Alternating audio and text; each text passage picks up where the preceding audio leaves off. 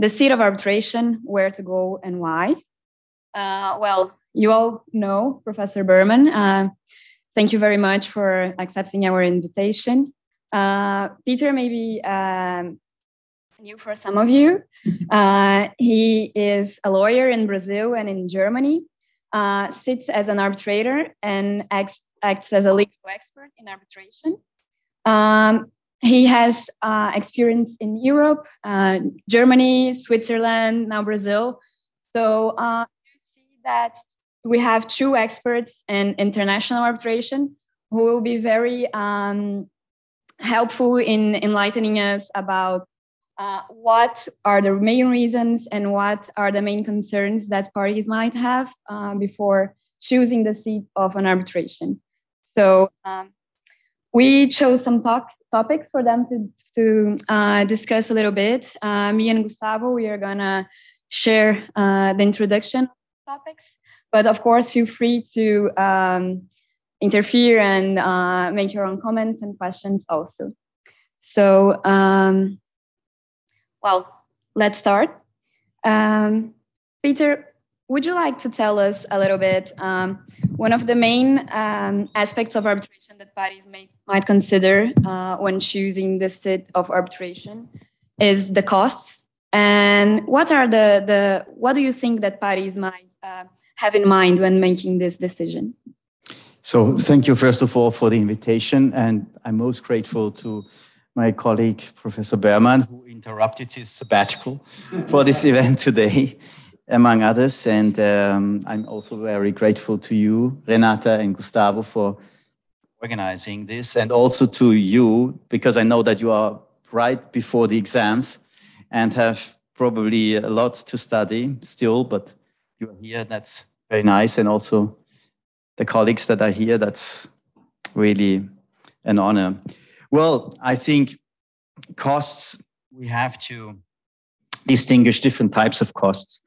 And I think what is often, maybe because they are out of pocket expenses, overvalued, are costs for arbitrators and institutions. This is the minor part, and I don't think it should be a relevant uh, issue. What is much more important, I think, are costs for counsel, experts, and um, these costs may depend on the chosen seat because in different uh, legal cultures, you have different forms to charge fees or remuneration by lawyers. I mean, if I think about the extreme cases of my home country, Germany, where contingency fees or success fees are almost illegal, considering legislation for uh, the legal profession, and my new home base in Brazil, where uh, lawyers do not like much to work on the basis of billable hours. Often, I mean, these guys here know it better. They have been uh, working as counsel or counsel assistants. They normally charge a lump sum, relatively low lump sum at the beginning, and then a considerable, but sometimes very considerable success fee at the end. So you can see it's not so easy to compare uh, the cost of arbitration. Also, in considering timing, I mean, um, lawyers often uh, do not uh, consider the time value of money. I have a formation in, in, economics as well, so I'm always very much concerned with net present values and cash flows. It makes a big difference when the money is flowing. And for a CFO or for a third party funder, it's not so relevant when you get uh, the award, but when the money is going to flow in. And uh, there we have, uh, I think, a mo much more important point uh, how speedy is arbitration, is international arbitration in different uh, arbitration centers. And uh, I think that that should be uh, an important point. So that's for the time being my statement on it. Shall I add something? Yeah. If there is anything to add. Uh, it's down there. Oh, thank you. On? Is it on? I don't think it's really needed, but okay. Um, this event we're having uh, will not be much of a debate um, because, in all likelihood, there's going to be a, a high degree of agreement um, between us. Um, it's not quite as if I were we're here with Rob Smith, with whom with whom there's agreement and disagreement, right, Rob? Uh, so don't expect to hear a debate uh, here today. Uh, we may have slightly different emphases, but um, Peter said exactly, of course, what I was going to say that cost is simply is simply the, the cost of the seat, the cost implications of the seat are minimal. They're, they're simply minimal. That's not where the, where the costs uh, lie. Uh, institutions do have cost arrangements that you may find more attractive than other institutions. Uh, so maybe the institution uh, will be the factor, and the institution might be the seat, depending on whether the institution requires that arbitration be local. But the cost of arbitration, I'm to say, is not the arbitrators, it's not the institutions, uh, it's counsel. It's counsel and counsel and counsel. um, I re- there's really not much to add on the cost front in my in my judgment.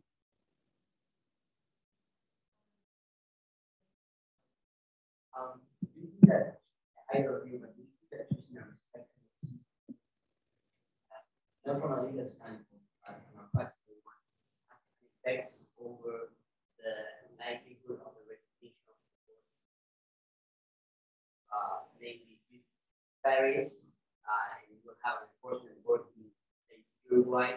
Uruguay court will see that Paris uh, echo that's that's kind of like a practical your view. You mean, um, does the heat from which the award emanates uh, have an effect on its fate uh, when brought for enforcement elsewhere? Uh, well, I, of course, I that would be an empirical question, really, and I, I have no empirical information about that. Um, I don't know. I since I don't operate as counsel, maybe I'm going to defer. Uh, the questions that you're asking today should be primarily from the point of view of counsel, because counsel is making the choice. So take everything I say less seriously than. Okay. Uh, so, uh, you know, counsel w- may want to think about that. Um, but I think I can't come up with too many seats that are used with any frequency that would be disadv- distinctly disadvantageous from an enforcement point of view. I'm not saying there are none, but if you look at the seats that are chosen, I don't think there's a measurable difference in their the reputation of the award. The reputation of the award uh, is more likely to depend upon the arbitrators um, if they're known than the institution or the seat. I don't know what Peter thinks. No, I, I fully agree. I think um, uh, an issue that is really more important, I would say, is how are annulment proceedings, how is vacating proceedings organized in the country of the seat. And there you have, for instance, a very interesting example. Switzerland has an active policy to capture international arbitration. And they have a very fast track uh, annulment proceeding decided by the Superior Court of Switzerland within normally four to six months, just one instance, very low rate of annulments. Austria has the same system. And then you have other um, seats that do not have such a fast track proceeding. And then if you think about annulment, for instance, of a partial award, and if that takes too long, this, I think that should concern counsel much more than I think the reputation, I fully agree, depends on the arbitrators, eventually the institution. But yeah.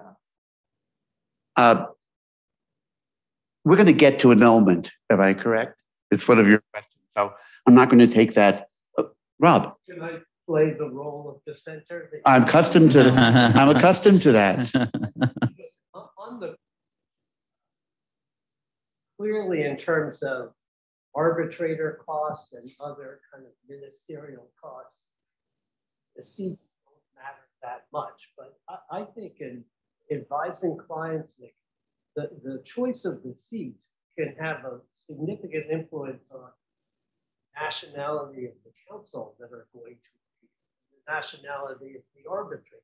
When you choose an English seat, you've got to contemplate like having to hire barristers and solicitors. Mm. Um, so the selection of the seat can have a significant cost impact. If you choose to arbitrate in India, you're going to have to hire a, uh, a senior counsel there. And the last time they to me, it was at $10,000 a day.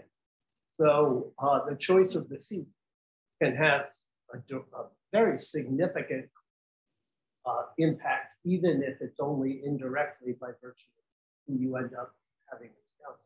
Yeah, for, for sure. if I just maybe involve a little bit our Brazilian colleagues in Brazil, it's it's a kind of um, standard practice, at least in big arbitrations that involve international parties, to have counts national counsels, domestic counsels, alongside international counsels. And if you take this into consideration, then at the end of the day, I doubt that it's much cheaper than doing it, whether to do it in Sao Paulo or in, or in New York, you know, because international law firms don't have much, partners don't have much flexibility when pitching. They will not make a discount for, for the seat in, in an emerging market. The premise, of course, which um, has truth to it, um, is that there's a, some likelihood that counsel will be local. But of course, we know that's, by no means the rule. No, but in England, there's there's pressure to have yeah, informally, yeah, yeah, I would agree. On that point, also going back to course, because I think that what you mentioned about the fast track uh, courses in in the something interesting I would like to hear very much. But taking advantage of Peter of your multi-jurisdictional experience on issues of fees, at the very forefront and at the very end of the arbitration, that issue is going to come up. And I agree with Georgia, the lion's share of the counsel, the attorney's fees. And on this point, you may face, well, at the very beginning, the issue of whether contingency fees are allowed or not is significant for the upfront fee. But at the very end, when you get the from the lawyers and you have to go to the sum up to, to grant attorney's fees to one of the parties, uh, then you might come up with a, an hourly of someone who is dealing in Paris compared with someone who is dealing in a very uh, you know developing country where the the, the, the, the, is enormous. And at that point, when you're saying, uh, well, it would be for the same amount of work that you're giving one party so much more than the other, it very and what about the Sao Paulo, for instance, big law firms in Sao Paulo hourly fee compared with St. Gallen or, or Geneva or, or, or what's your experience on that? Uh, the disproportion of those, those, those, those. Well, as I mentioned before, uh, if whenever possible, uh, and that touches upon, I think, a, a deeper issue. Uh, Brazilian law firms, I think you will, will agree, try to not to work on hourly basis, if possible. They, they, they try, will try to rather take a risk and uh, go for a high contingency fee. And that has very much to do, I think, with the litigation tradition in Brazil, because that comes from litigation and different from, for instance, Switzerland, where the godfathers of uh, arbitration were had a background like George has, public private international law, commercial law. Uh, the many of the godfathers of Brazilian arbitration are civil law professors and, and, and, and are, have been litigators. I mean, we have just a history of 15 years, actually. The law is a little bit older, but if you look at the numbers of the cases, they started basically grow up from 2004 5 on. Courts. So basically, the first generation started their professional career in litigation, and that's that. There's a significant impact of civil procedure practice on arbitration practice, and in civil procedure practice, it's contingency fee. So that's that. It's it's hard to say. I, I don't know exactly I don't work much, unfortunately, as, as I cannot contribute much as counsel in Brazil. So I don't know how what the hourly rates are, but I, I assume they are that in in, in non-arbitration cases significantly lower. I agree with you. Uh, if you have a transaction lawyer, you will probably it's hard for for a Brazilian transaction lawyer to to to charge 1,500, 2,000 reais per hour, which is nowadays the we have now five to one the exchange rate. So uh, that's nothing compared to New York. But you also, as you mentioned, look at the last 10 years, the exchange rate fluctuation between the US dollar and the real. We have seen times one to less than two. And we have now again today one to five. And when you negotiate the arbitration clause and when you choose the seat will not know how in, in, in such a market the currency fluctuation will react. So that's that's that's makes it more unpredictable. Uh, what would be beneficial, I think. You know, just a, a PS on the contingency fee uh, concept. You know, in the U.S. culture, it hasn't. It tends to have a negative ring to it. Like you, you, you charge by contingency when you're hustling, uh, when you're hustling cases and you're hustling clients uh, and you're inducing litigation. Uh, now, I don't know if you agree, Rob, but it has that flavor. Um, and I don't think uh, the major firms, they, they do it if they must, but I don't think they welcome it. Rob. I hate to agree. I, I hear, by the way, from reliable sources that there are occasions when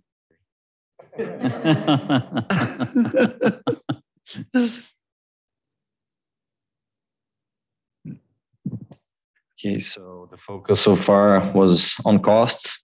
Now we're moving to, to another focus, which is the quality of arbitration law.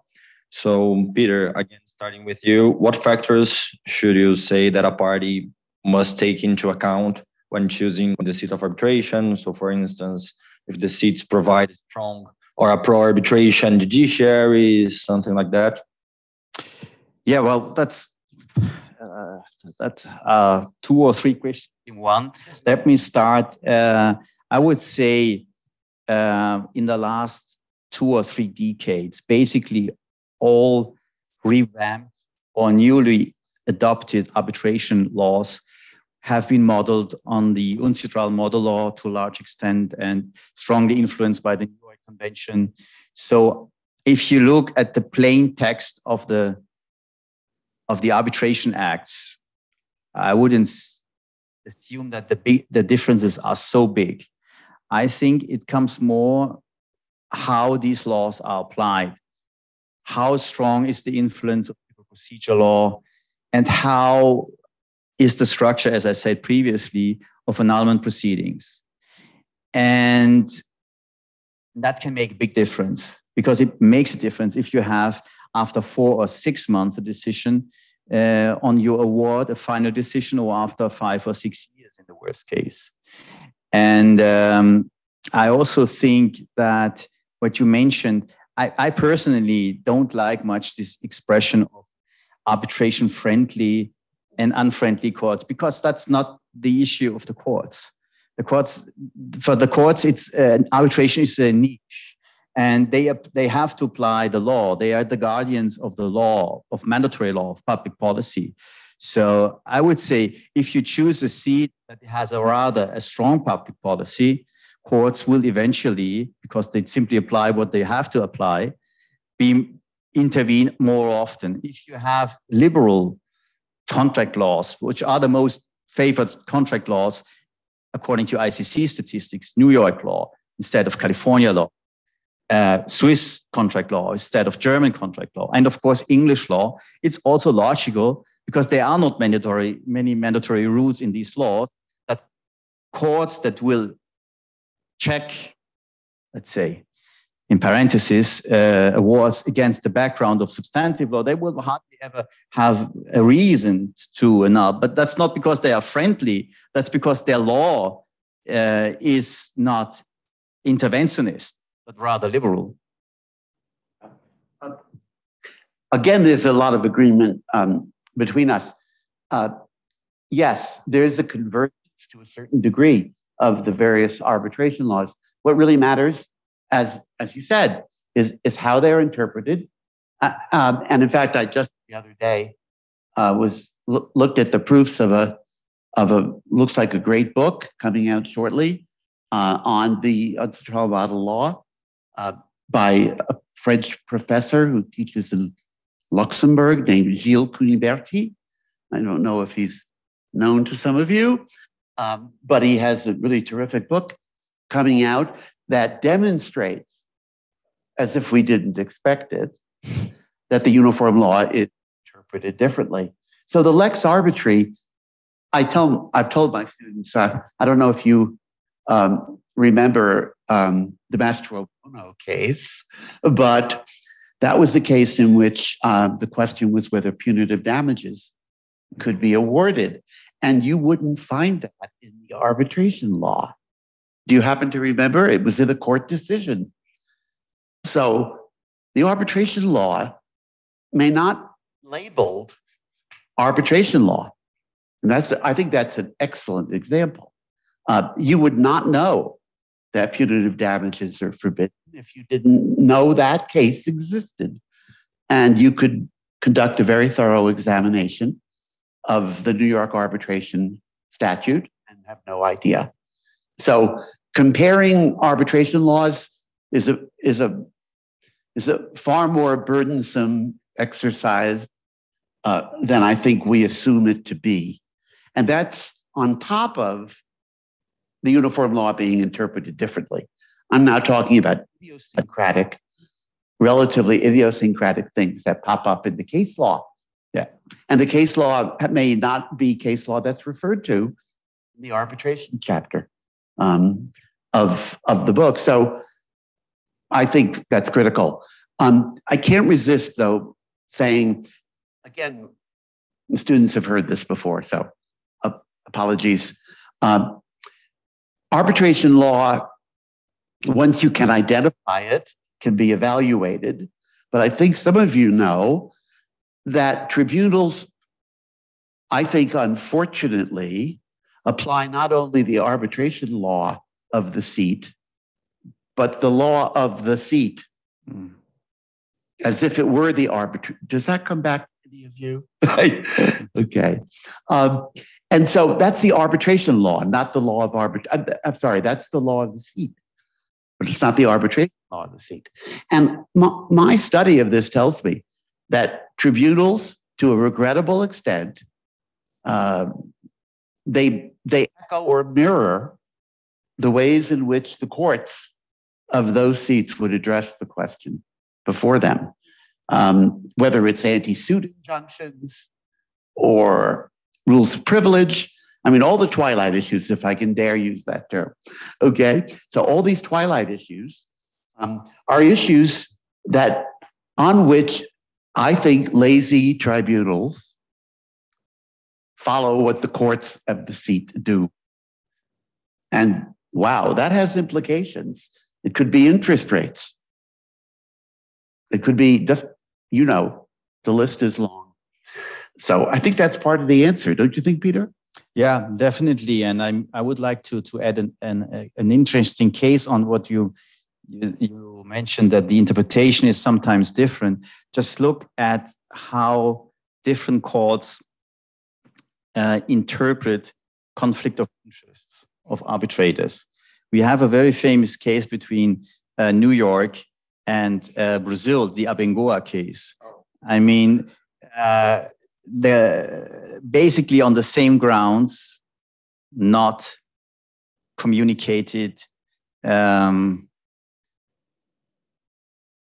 counsel work of, of a law firm, as I remember, of the presiding arbitrator, was used as an argument to try to vacate the award in New York, it didn't work out. on the same grounds, uh, the award was not recognized by the Brazilian Superior Justice. The court rec- refused to apply the New York Convention because, uh, subject to Brazilian law, arbitration law, and that's why you have to look beyond the arbitration law. The arbitration law makes an explicit reference to two norms of the Civil Procedure Code on suspicious and conflicted judges. Mm-hmm. And uh, according to these norms, it's difficult, or it's the question is, can you really insist on causality, which the Brazilian Superior Court didn't do in the Abengoa case, and that can be critical. That can be very critical. So, uh, and another point that's important for international arbitrators acting in Brazil. I was sitting once uh, as a adjudicator in an ad hoc committee ruling on conflict of interest of um, relative renowned Paris arbitrator. He basically uh, said in the written statement, I'm not conflicted because nothing of the IBA guidelines is involved here. But he was falling clearly under two rules of these two norms in the Civil Procedure Code. So we didn't even look into the IBA rules because obviously soft law cannot reduce the bar that is established in statutory law. So it's really much more um, a different thing than reading in parallel or in a synopsis two different arbitration laws.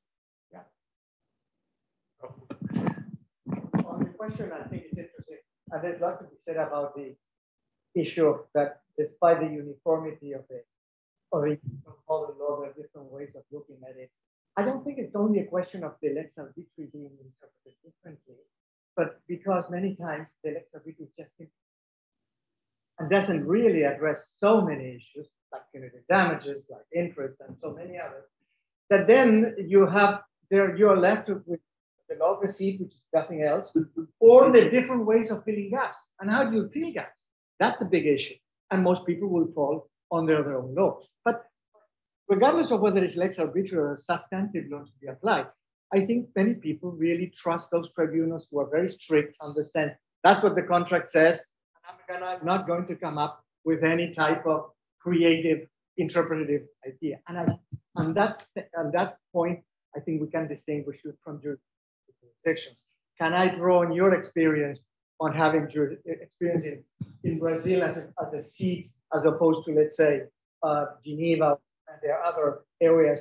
How strict or how, um, in a way, uh, textualist are those judges with whom you work in one compare with the other? That's that's a very very good point. There are big differences. I mean, one of the reasons, and I come to Brazil, but maybe just step uh, before, uh, Swiss contract law, Swiss judge, arbitrators, Swiss judges are much more contextualist than German ones. That's why many German companies prefer Swiss contract law and Switzerland as seat, because uh, the German civil code has two, three norms that allow the church to interfere into or to interpret in a, in a, in a, in, in a sense uh, that he assumes to be correct. And that is also often in line in civil law. You have also this distinction. If you have a very detailed civil law with many default rules, sometimes the judge is biased and evaluates a contract against the background of default rules which he considers to be the better solution than what the parties wrote, which is questionable. So if you have a, a relatively formalist STIM contract law, you don't have this contextual bias. Uh, Brazilian contract law is closer to, and I described this in, in my new book uh, that was just released last week on Brazilian business and commercial law is much more, is very contextualist. Uh, you have even a norm that says that contracts have a social function. This is a very uh, broad term that ob obviously gives many uh, huge leeway to judges. And uh, but I have also to say in 2019, the, the, the legislator adopted new provisions in the civil code that allow clauses on risk allocation and say that the judges should respect these clauses. But on the other side, we have a relatively broad hardship clause.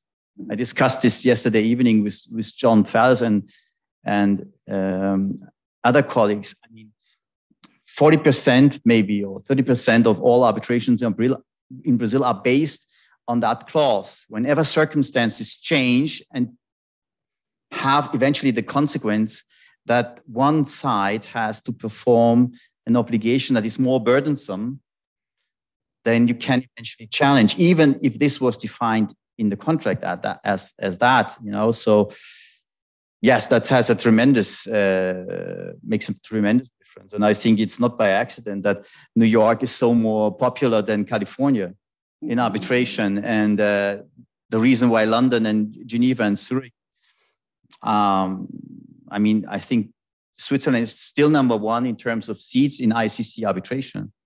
So uh, that is ex exactly what I would say is one of the reasons. A part of uh, the handling of annulment proceedings in Switzerland are very attractive, I think, for international practitioners. This is one of those questions where we see some parallelism to the questions you'd ask about the seat and the questions you'd ask about the, the arbitrator. So I think I told my students that the, if you, I mean, a lawyer is apt to ask you questions about your disposition um, as, as arbitrator. And one of them is this one. Are you a strict constructionist? Um, you've had that, right, Alejandro? Uh, are you, uh, you know, are, are, you willing to describe yourself um, as a strict constructionist or a liberal constructionist? I'm sure you don't answer that question, uh, but it tells you, you know, this is something that matters, and uh, it it it really features prominently in choice of arbitrator and a little less directly in choice of seat. But it's there. Well, my practice, in my experience in practice, is if the question is to what extent is the arbitration legal regime at the seat relevant to the choice of seat, my experience is all the seats we're talking about London, Paris, Geneva, Sao Paulo. They're all quote the term arbitration friendly um, terms. That's not the basis on which you're making the selection of the seat. Um, this selection is made for other reasons than the legal regime. We, we assume these are all good legal regimes. Is that consistent with your experience? You know, your father used to say, the most important consideration is the quality of the wine. Uh, right? You've heard that. More important than the legal regime. but that assumes you're sitting at the seat, right? Which is not always the case. I, I, was wondering, with the example you gave of the arbitrator that relied on the IDA principle, the, that case, I think, Brazil. Uh, in, in your experience and other people that serve as arbitrators, so the advantage of that, when you receive an appointment from a seat where you are not familiarized with, never seen it in that jurisdiction, is it a matter of concern to you? Do you do some sort of research or analysis as a arbitrator on what is the seat, or if it's some jurisdiction that adopted some sort of guidance from the model, the model law.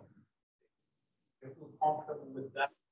To think whether it's a matter of concern for the arbitrators, of the. Of course, I mean that's that's uh, that's one of your basic duties because at the end of the day, you have to guarantee that your award will be will not be annulled and is enforceable under the New York Convention. This is the core duty of, of the arbitrator. Therefore, I must concern myself not to, to create myself a risk for the parties that the award will be annulled or uh, or eventually not enforced where the assets are located. Yeah. I mean, ideally, as arbitrator, you would you would not only read arbitration law, uh, but you would read commentary on the arbitration law because things do turn on that. Uh, and and Peter's right. You're responsible for the longevity of the award, and it is it is possible. But that reminds me what I said earlier. Some things that might um, affect uh, the enforceability of the award might not be in the arbitration. They they may be, but I, have said that already. but but these comments are are linked. Uh, so there could be something that would endanger your award uh, that you wouldn't even know of, no matter how religiously you read uh, the arbitration law. Um, so, yes, in theory, if it's a new seat, I familiarize myself with the arbitration law. Um, we tend to be in the same seats over time as, as life has it. So it doesn't happen too often. I, I mean, a, a, good, a, good example of what you can do, for instance, you can study uh, the book that George wrote with Emmanuel Gaillard on uh, the New York Convention, the guide to the interpretation of the New York Convention, because there you will find hundreds of examples of court decisions on exactly these issues that uh, an arbitrator should be aware of including punitive damages that you can never enforce in Germany, uh, penalty clauses that are an issue in, in, in the UK and in other jurisdictions, the restraint of doctrine, these very few issues on substantive law that you, you must dominate if you act as an international arbitrator. And I think that's a, a wonderful source of, of, of, hundreds of thousands of, of, of decisions worldwide.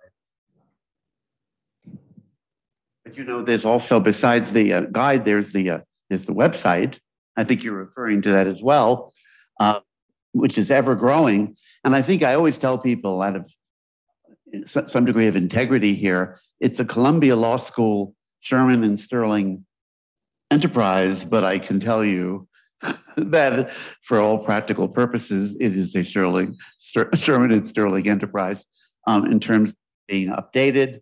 Um, it's all Yas Banifatemi, um, who's no longer there, but uh, yeah, so um, that's really a, treasure trove.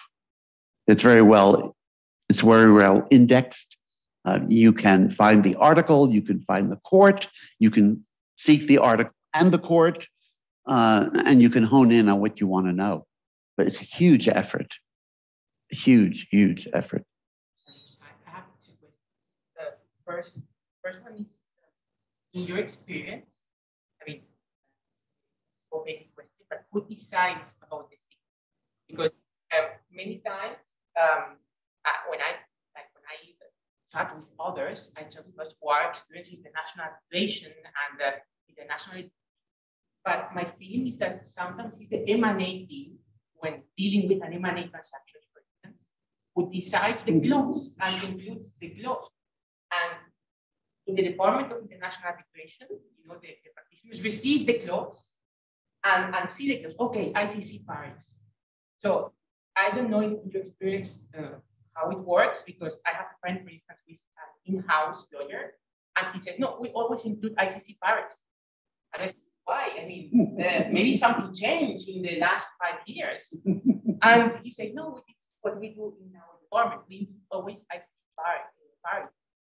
That's part of what you'll always hear. So maybe, I don't know, maybe I don't know, uh, M&A lawyers or in-house lawyers. This is what you'll you'll always hear from the, and uh, Rob can verify this. You'll hear from the arbitration unit um, in the law firms how frustrated they are by the fact that they weren't consulted um, when the arbitration clause was drafted, and they assume that the arbitration clause was an 11th hour uh, decision made by lawyers who don't know anything about arbitration or about different seats. Um, I think I've agree with me on this one. I, but the only thing worse than them coming at you at the 11th hour saying, What do we do about dispute resolution? is when they come at you at the 11th hour, having actually thought about it and written something awful, and you have to un what they've done. I much prefer them coming at the 11th hour and saying, give us a clause. Better late than never.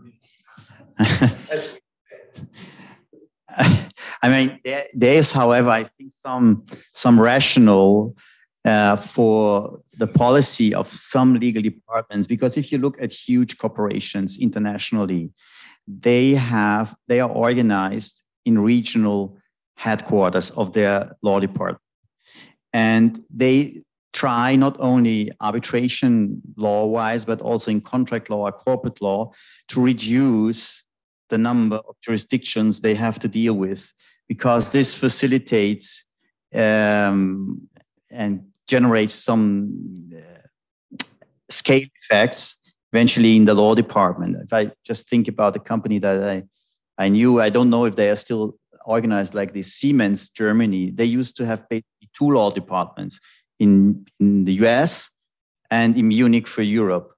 And the Munich always Swiss law, Geneva, Zurich.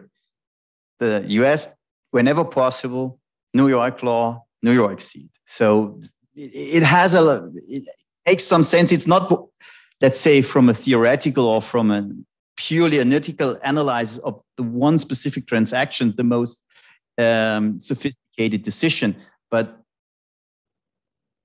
looking at the portfolio of the contracts and disputes they will have to manage, may be economically wise. I don't know. Well, if you're going to take seriously your and my admonition that the arbitration law be studied and arbitration case law be studied, then there may be some advantage to sticking in the same place uh, rather than venturing into some jurisdiction where you're a beginner. I think that might be yeah. maybe that as well as uh, let's call it path dependency. Yeah, that's well you talked a little bit about annulment actions but i would also uh, like you to comment more on the legal and cultural risks of annulment actions um, through a perspective of whether uh, parties should assess uh, it is better to choose a seat of arbitration where there is a fast track annulment proceeding uh, for example, in order to make sure that the, um, the award will be enforcement will be enforced in uh, a shorter time, or uh, how the party should assess this this matter? Well, I think that you should assess this, but it's it's complicated uh, in the moment of contract formation when you agree on the clauses and as a counsel have to advise your client because you will not know exactly in what position your client will be I mean, if, if your client is not happy at the end of the day with the award, I mean, the best advice would have been to go to a jurisdiction where you can challenge it as much as possible. If we assume that in the beginning, um, everybody wants to have a fast decision, an enforceable decision quickly, uh, not knowing what his future position will be in a possible dispute, then I think it, it, it, it, it, it's a very important point because simply for the fact that time is money and uh, annulment proceedings can also cost a lot of money. And they are considered by law firms, if you are going contingency fees, you know this as a separate process. So you pay contingency fee for, for the arbitration, then it's over. And the next step is is a completely uh, different proceeding. And depending on how long it takes how are the cost rules there it can be have a tremendous uh, effect on the overall costs. I think i think peter's pointing out something that's very interesting. Uh, um, when we evaluate a seat we can evaluate it at a distance evaluate it more or less in abstract you can say to to use the term this is arbitration friendly or pro arbitration um, in the abstract. And we can all do that. We always bring evaluative judgments about arbitration laws. But uh, when the time comes, your interest may lie in the arbitration unfriendly thing, like maybe a, a, a slow track uh, annulment um, will advantage your, your client. Uh, very often the question is, uh, will you be the winner or the loser? Uh, and that's an interesting question. I don't know. I, I, I maybe counsel uh, can tell me. Uh, do do parties somehow approach these issues as if they were the winner? I have that instinct that even though there is no statistical reason to support this, that somehow psychologically you see yourself as winning the award and having to enforce it and pay much less attention to what will happen if you lose and you need to annul or you need to defeat enforcement. Um, but that's my that's my psychological um, intuition. Uh, but that has nothing to do with what's going to happen. Both sides think, if I'm correct, both sides think they're going to win. I'm inviting you to agree. I, I, I need to agree. I, I also think that the question about the fast track vacatur proceeding arises, of course, after you lost the arbitration. And the case, my students are well aware that I was counsel. We lost an arbitration in Brazil. And the question was, should we move to vacate Well, on the one hand, um, it'd be nice to win vacatur and then rely on Article 1 uh, 5.1e to resist enforcement request. On the other hand, what the likelihood of winning vacatur in Brazil low. But we counted on the fact that, oh, the Brazilian courts are going to be slow. This will take them forever. Don't worry about it. Yeah. And yet, lo and behold, once the Brazil courts were fast track and immediately refused to vacate the courts. We ended up strategically shooting ourselves in the Oh, but that's uh, of course if you but i said mentioned before if you have a possibility to not necessarily to win the, the vacation or the annulment proceedings, but simply kick the can down the road and think again of I, I what said before that the counsel reports to the CFO. CFOs have a perspective of three to five years. If I can kick the can down the road five years, I might already be CFO or CEO in another company my problem is resolved. So, uh, yeah, I don't know if you're moving on to a new question, but you asked a very broad question, uh, Renata. It was, I think, legal and cultural, um, and it, it's not all about annulment, right? so, um, I was very interested in that question as you put it, and I was trying to think, um, well, what is it about the seat that concretely, that concretely would bring those considerations um, into play cultural, broadly conceived of, uh, cultural uh, uh, uh, factors uh, that might come into play. And I think that's interesting for us to consider. The first one that came to mind is one that Peter referred to earlier. One way in which the seat uh, can conceivably impose its cultural proclivities and preferences is through the public policy exception. I mean, the, hey, um, we all know public policy differs. Um, and, and so, you know, public policy is conceived of differently in many different places. Um, and it's ground for annulment. Violation is a ground for annulment. Now, again, I don't know what you can do with that ex ante. In other words, I, I don't know what, what that's going to tell you about where your interest lies because we don't really know.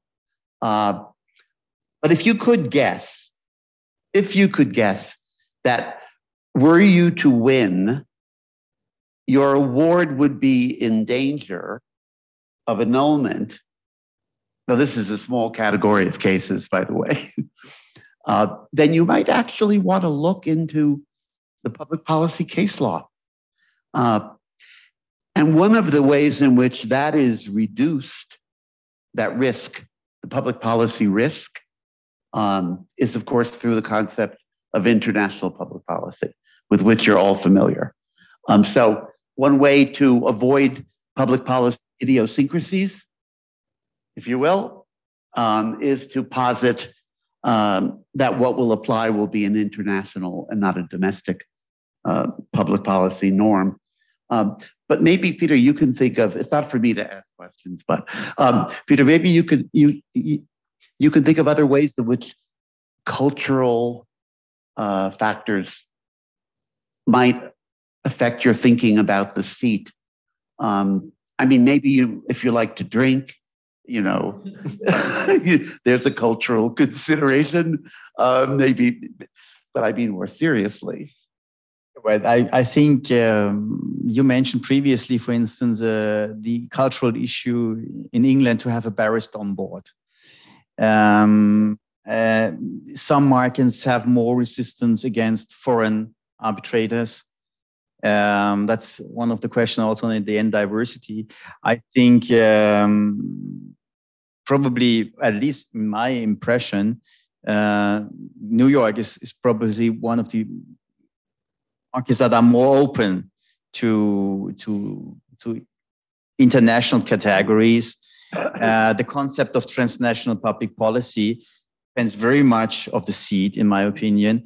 Switzerland, for instance, I, I, come back to, to, to Switzerland, they, they apply this concept to a large extent. For instance, there's a decision that I'm not perfectly convinced of that where the court said we do not uh, evaluate the, the award against the background of European competition law because European competition law is just one competition law in this world and it doesn't represent a transnational standard. So, and, and despite the fact that both parties were Italian parties and they were subject to that law, it's, it's, and obviously if you go out of Switzerland, you will, they will not. They didn't read the Eco Swiss. Of, of course. They didn't read course. the Eco Swiss decision. Yeah, that's why uh, I think it's, it's, it's yeah it's wrong the decision but but then you have brazil for instance where several procedural public policy rules are only reflecting constitutional guarantees if you have a very ample constitution a very detailed constitution the courts will consider this must consider this almost automatically uh, as public policy and not can say it's it's just transnational public policy i think it, it matters a lot the, the cultural approach to it yeah I think public policy is going to be the entry point. Uh, I think it's going to be the major entry point for these considerations. And I think also, as you pointed out, Peter, that the notion of public policy is very much closely related to constitutional guarantees. What type of and what type of uh, uh, mindsetting the judges have about their duty to Constitution that they have to do.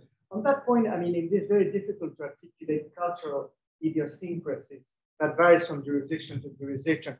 It's interesting to hear you with your experience in Swiss and Germany, because from the outside, one might think that their jurisdictions very much alike, but someone who is familiar with them knows the differences. Could you, would you dare to uh, somehow, I wouldn't say classify, but yes, take into account that in judiciaries all over the world, including uh, sophisticated and sought after venues for, for, for arbitration, there are judges whose approach to arbitration is more friendly or less hostile than in others. I mean, I think that there are, uh, aside from the what the, the judiciary says about pro-arbitration bias, etc., isn't it true that some judges really don't like very much this idea of having this parallel judicial uh, system of administration of justice, and others are very happy to get rid of those all the other cases that shouldn't come to court. What's your view on that?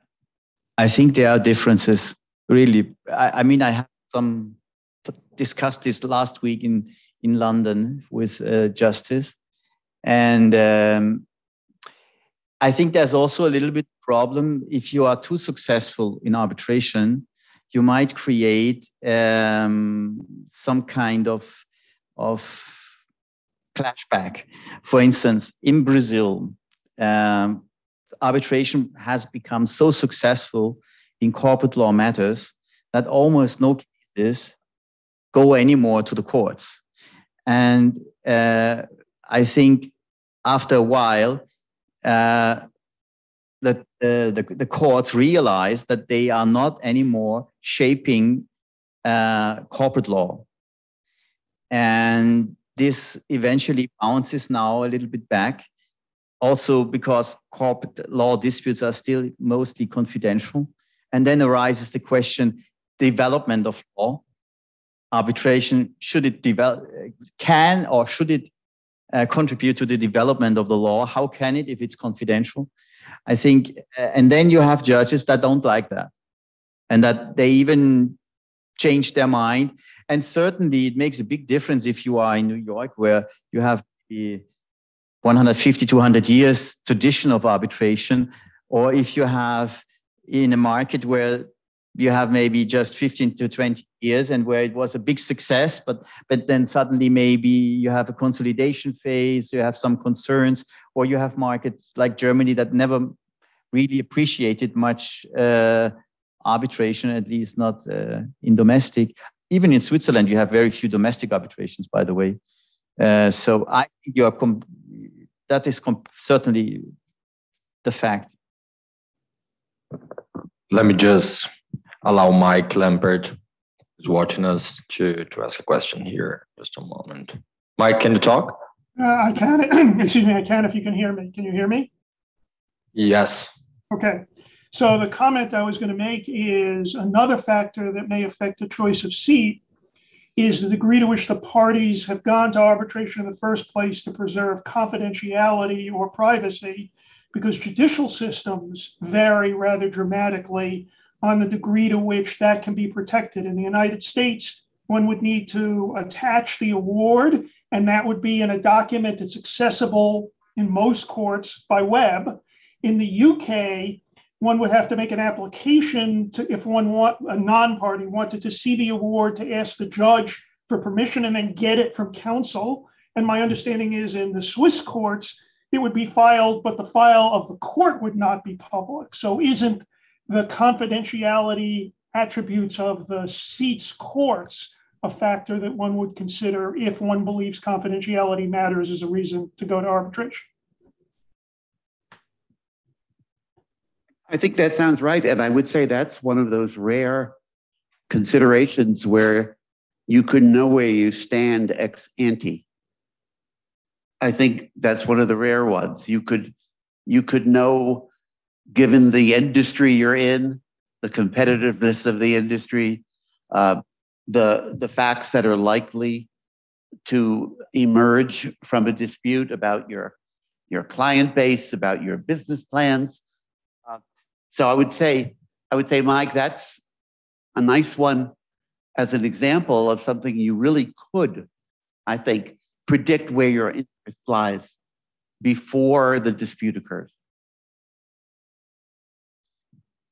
Yeah, I, I think that that's a very good point, but I think you also have to consider the times in which we are living.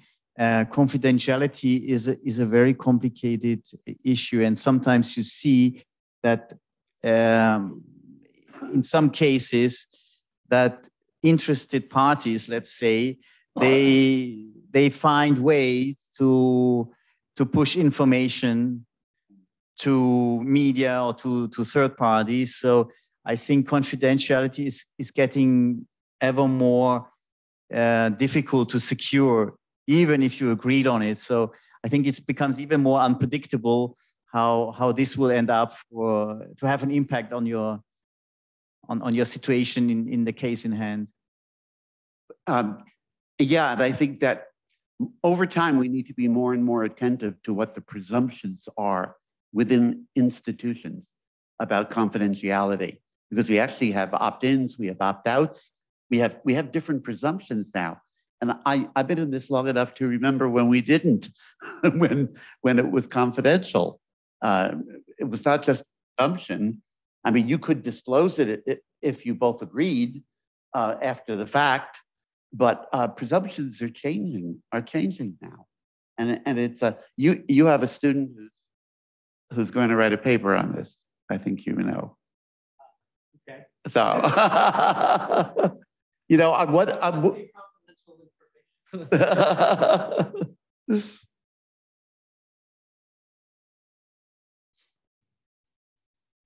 so does anyone have any more questions? Uh, I think we are running out of time, but uh, just if you could just uh, mention briefly a little bit about, well, you both have um, experience with different jurisdictions, uh, seats of arbitration. And what's your opinion on diversity uh, regarding the choice of arbitrators? Is it better to have a diverse tribunal, arbitral tribunal, or not? Does it uh, affect the result of the, the arbitration? I'm not sure how that relates to the seat. Um, yeah, not necessarily. okay. I mean, I, you know, yeah. Um, I don't know if you want to speak first about this, but I don't think it's a seat related. I don't think it's a seat issue in any way I can identify. I think it shouldn't be a seat related issue.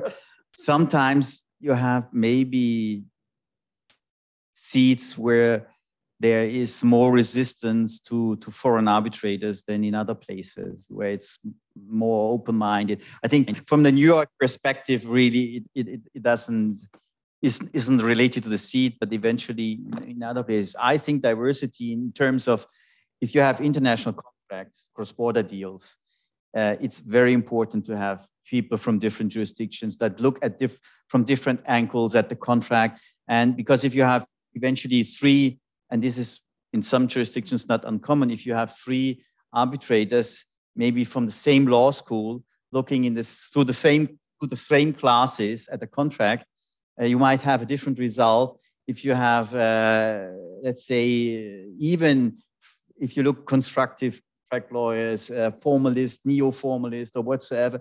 And this goes, and this is of course uh, very much also related to the how how you are biased by the first law school uh, you visited eventually, or the first law, contract law you got to, to know, and if you can really step aside, and then if you mix tribunals, you have better results. Opinion. Just look at the ECJ or the International Criminal Court. Um, but, but on the seat, if I can return to the seat, um, the uh, Chartered Institute of Arbitrators uh, has issued something called the London Principles, uh, which I think is pretty interesting. Um, and at their, I think it was their centennial, I'm not entirely sure. I think it was at the centennial that they, they issued these. And you might want to take a look at them. It's a long list. I happen to have it in front of me. Um, a very long list of factors to be taken into consideration. I could read it to you, but I won't. Um, but what I tried to do was to determine for these factors, each of these factors, what, what the impact would be if they were followed or not followed. In other words, consequences are of these various London principles. But as I look at now, I'd say there looks like there are about 12 uh, all entirely predictable, uh, some of which we mentioned today. Let me quickly, um, yeah, these days, we haven't mentioned it yet, ready access to the country for counsel and witnesses. Suddenly that's surfacing. Um, how, how easy or difficult will it be uh, if it's in person? Assuming it's in person. Uh, now, if it can be in person, it, it, but by definition, we're probably not in the worst situation, but with, with entry barriers. But it's something that's been, I know it's being taken into consideration. Right now, I'm in a case where uh, it's an ICSID case, so no seat was predetermined. And um, the decision on the seat is, I, appears to be going to turn on the relative ease of witnesses and counsel entering the country. Uh, so it actually is coming into play. Uh, so, uh, but as I look at the others, um, the only one we haven't mentioned, well, we didn't mention independence of the judiciary. I think we did. We we, we didn't have to mention it. Um, we we know it. Um, the only one here that I think we haven't touched upon is immunity. Uh, the immunity of arbitrators. Uh, there's some likelihood that if there were litigation, some likelihood that it would occur at the seat. Now, it's not necessarily the case. You could be It could be resident domiciliary of a jurisdiction other than the seat and be sued there. But a seat is the most likely or a likely uh, place for litigation to occur. And I don't know, some some counsel, again, I'm not I'm not counsel, so I don't know. Some counsel may consider that an important consideration. I don't know if that makes any sense, but that's the only thing I can come up with that would cause you any, you know, to think out of the box. Some arbitrators too, George. I mean, I've been sitting in, in panels where some arbitrators have been very forceful, including in arbitration. Assuming it's enforceable. yeah. arbitration process within arbitration because of a concerns of arbitration. And this issue of the immunity of arbitrators definitely it very much varies from jurisdiction. Oh. It's another one. I'm not detracting from the importance of the mention. I do think that diversity is because not because we don't think that diversity are good, but the awareness about the relevance of diversity and what aspect of diversity, gender, race, uh, language, or what. That's not a, a, concern that seems to me on part of. I think that the uh, and probably not so much about party appointed arbitrators, but I do think from the institutions, George has pointed out, it. Uh, but it's not to be taken for granted that every jurisdiction is aware of the relevance of having diversity in the panels of arbitrators. Many people tell us about it. And many of them are, not aware about that, that difference until someone tells you, well, but don't you think that for diversity's sake, we should appoint you know, a woman or a man, and you, you haven't thought about it. But you have thought about many other issues, but not this one, because people sometimes are aware. I think that's cultural specific issues. Um, it's we all know it's very very rare, but I guess this discussion would be incomplete if we didn't at least pay lip service to the possibility that um, you would uh, choose an arbitration law other than the because we know that theoretically uh, that that is possible. So our discussion thus far, I think to some extent has has rested on the assumption that it will be the arbitration law of the seat that will govern the arbitration. Now, um, in that practically, I mean, I don't personally know any case. I know it, they're supposed to exist cases in which parties have expressly agreed on an arbitration law other than the law of the seat.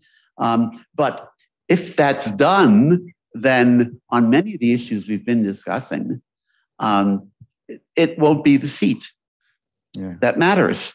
Um, and I'll simply say in the restatement, one of the things we had to address was in that rare circumstance where you have chosen a seat, but chosen the arbitration law of another seat, which jurisdictions courts have annulment authority. You know, and that was, and we don't have case law because we don't have that scenario.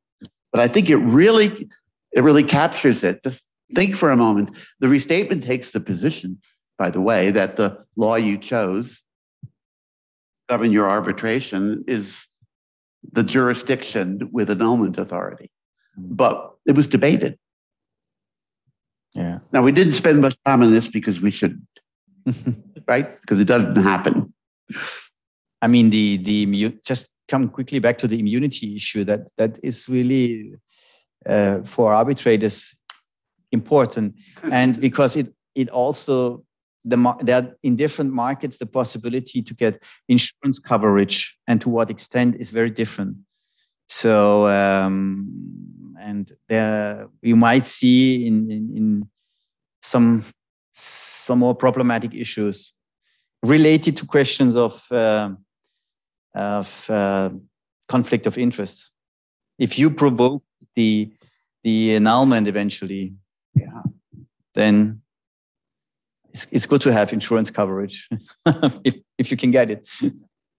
You know, not to not to dwell on the restatement, but I have to say immunity was a hot topic because a minority of our advisors and the and the reporters themselves, myself included, I know this is going to sound terrible to you, um, thought that must be circumstances in which an arbitrator should be accountable.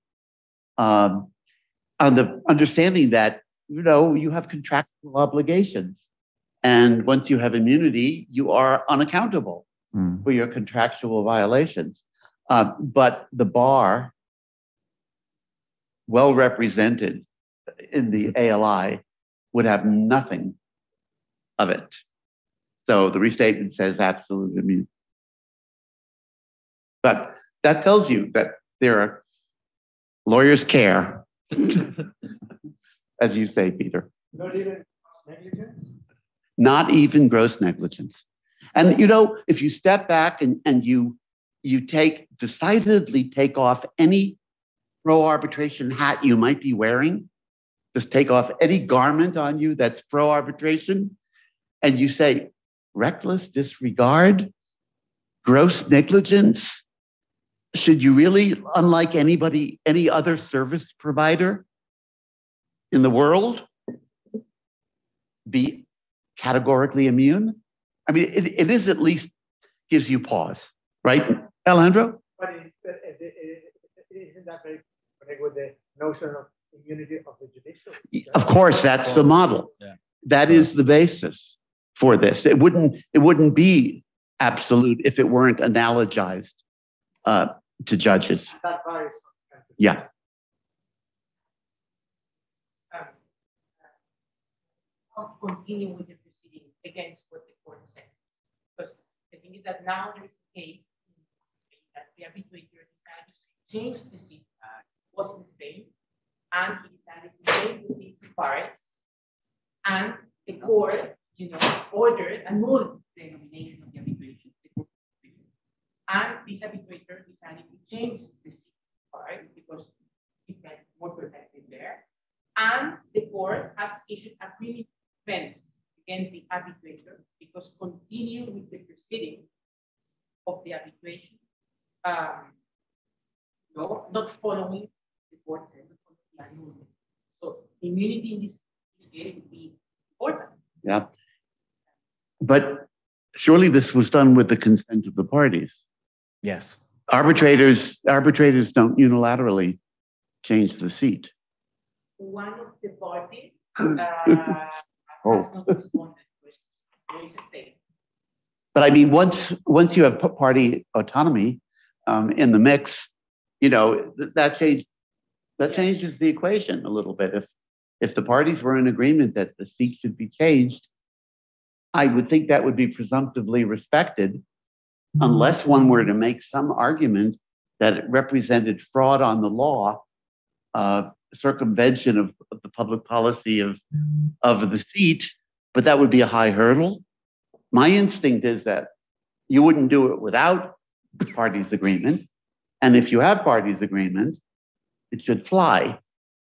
What do you think, Peter? Yeah, I agree. I mean, uh, party autonomy is the backbone of, of arbitration, international arbitrations in particular. So if parties agree, you, you should be able to change the seat. Also, because think about a contract that is maybe 20, 30 years old. And when the dispute arises, so it couldn't make much sense to circumstances may have changed in, in the country where that was defined in the first place. So if there's agreement, or in that case, I think uh, I heard about that case. There was at least from one party no objection. Yeah, it's very particular. Yeah. It's Malaysia against uh, one, one owner, Sultan of Malaysia. And there was, you know, this lending of parts of Malaysia, loaded. And uh, the Sultan that says that owns this, uh, this land. And there was an arbitration clause in this contract of land, very old, like from the 19th century. And now there is a dispute that arises out of this contract, and there is this arbitration clause, so very old. And there was arbitration, and Malaysia anything. Uh, so arbitration very particular case. But I mean, the important thing for me here is that there is agreement against Yeah. Well, Peter and I both um, emphasize party autonomy. I have to confess, though, that party autonomy is not unlimited, and that's another whole story. Um, there are things parties can't agree to.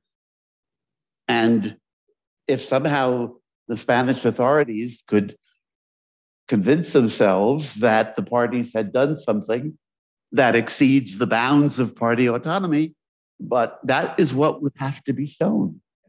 And I don't think that's an easy showing.